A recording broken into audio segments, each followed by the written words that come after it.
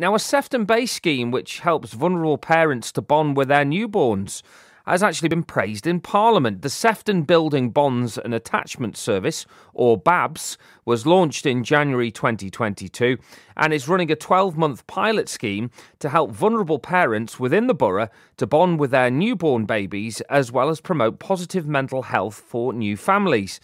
Based across Sefton Council's dedicated Family Wellbeing Centre network, uh, the pilot's being run by both the local authority and partners in the Merseycare NHS Foundation Trust. Well, psychologist Dr. Lisa Marsland Hall of Merseycare Foundation NHS Trust is with me now. Morning to you. Good morning. Good morning. Um, tell tell me about Babs then. Where did the idea come from? Um, I set up Babs um, eight years ago, um, predominantly because um, there's just such a massive, massive need um, for this service for many parents and babies in the antenatal, postnatal period. And no one ever, ever tells you just how vulnerable you're going to be with your mental health and your relationships when you have a baby. As a mum of four children, I can I can vouch for this. Um, and predominantly, there's so many vulnerable parents and babies out there. Sadly, many who who are moved by children's social care for lots of reasons that it was just such a massive gap that, that needed to be filled in Sefton especially. Yeah, and it's it's not unusual, is it, for maybe a, a, a new parent to to struggle to bond with a newborn. But I, I, think, you know, particularly mothers, they, they beat themselves up about this and think that, that there's something really wrong because of it. Absolutely. You know, it, it's such a sad taboo, to be honest, that, you know, I think, you know, there's especially when you have a baby, that you know you should look like the Boots advert and you should be this amazing parent with your baby. And the reality is, lots of parents are very, very vulnerable with the mental health, with the relationships, and have very negative feelings towards the baby. And I think what no one ever tells you is when you have a baby, um, what is activated is your own past parenting experience or any insecurities or vulnerabilities you've had in your life they all come back and smack you in the face when you have a baby and the maternity file, the red book, no one ever tells you this.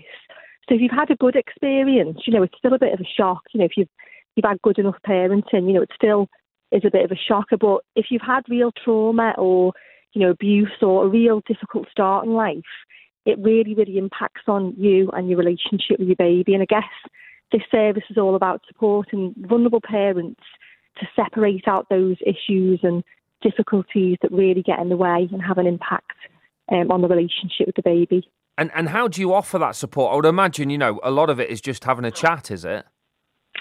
Well, you know, hopefully our parents it feels like that for our parents because we we strive to be you know really easy to engage. But no, we're, we're actually a specialist um, therapeutic mental health service, so we offer very specialist psychotherapies um, to support parents and babies. So um, we work with parents um, at the family home predominantly, you know, in the kitchen, the living room, um, and we support both mums and dads. So it's it's not a parent a service just for mums; it's for dads as well. Um, and it is it's about really engaging those, as you said, those parents who feel embarrassed, who feel like it's a taboo to have negative feelings towards your baby, or you know, to have had awful things happen to you in the past that actually get in the way of this most important relationship. Our, our, our ethos in Babs is relationships are everything.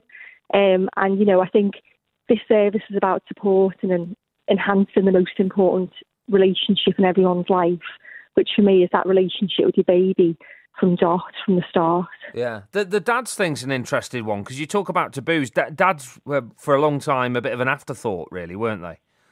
They are, you know, and my husband can vouch for that. You know, um, I think I think dads, yeah, nobody really thinks about dads or offers that support to dads in this period. And to be honest, dads are just as much impacted, you know, by mental health, by struggling to bond, and by those negative feelings that you have that you think, God, I shouldn't have these, and you know, I can't talk about them because you know people think I'm a bad parent, or and everyone's worst fear is, you know, your child being removed by social care.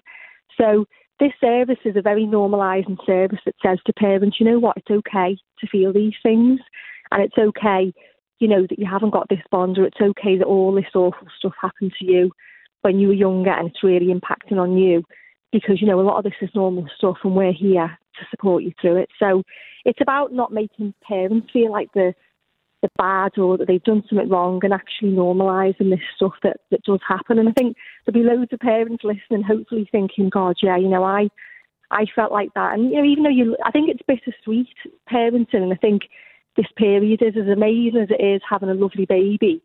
It's bloody hard work, and it's really, you know, it it, it can send your, your mental health and your relationship spiraling. And I think it brings up so many difficult feelings for a lot of parents. Did, did the lockdown have an effect on the socialisation of babies?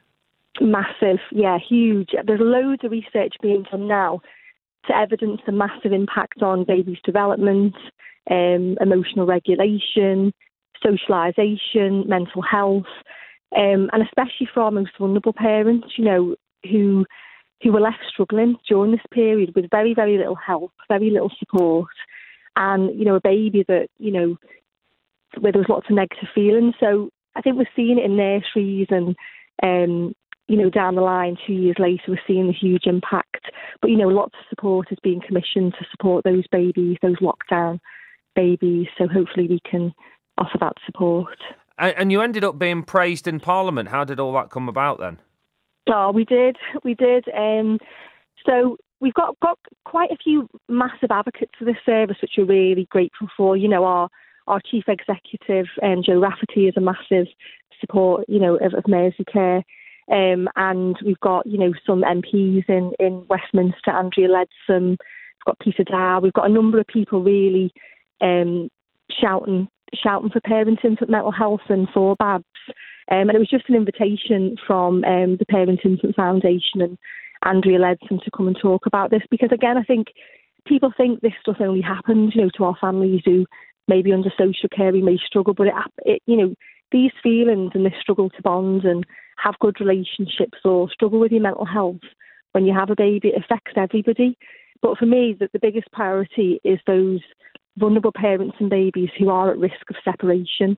You know, if we don't, if they don't get this specialist support, there is a high risk of those babies being removed. And and I, I don't believe that any parent goes into parenthood. Very few that I've ever met go into parenthood thinking I'm going to abuse or harm or neglect my baby. I think the majority go into parents and thinking, you know what, I want to be the best possible parent I can be, and actually I want to be a different parent to what my parents are.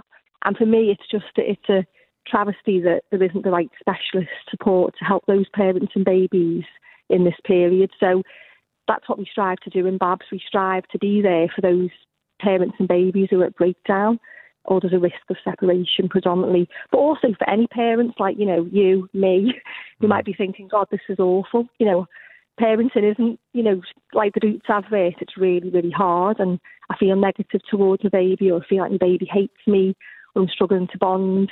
So it's a service that hopefully can reach everybody and we've had a massive, massive need and demand for it in Sefton. You know, in six months we've had 75 referrals, which is huge really for a very specialist service. And if anyone wants your your help, what's the easiest way of getting in touch then?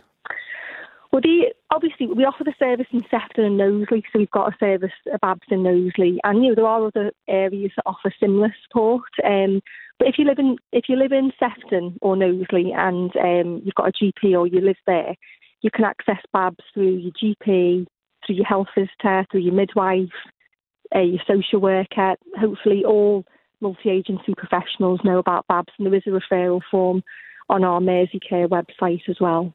Brilliant. Oh, well, thank you very much for talking to me, Lisa. Have a great day.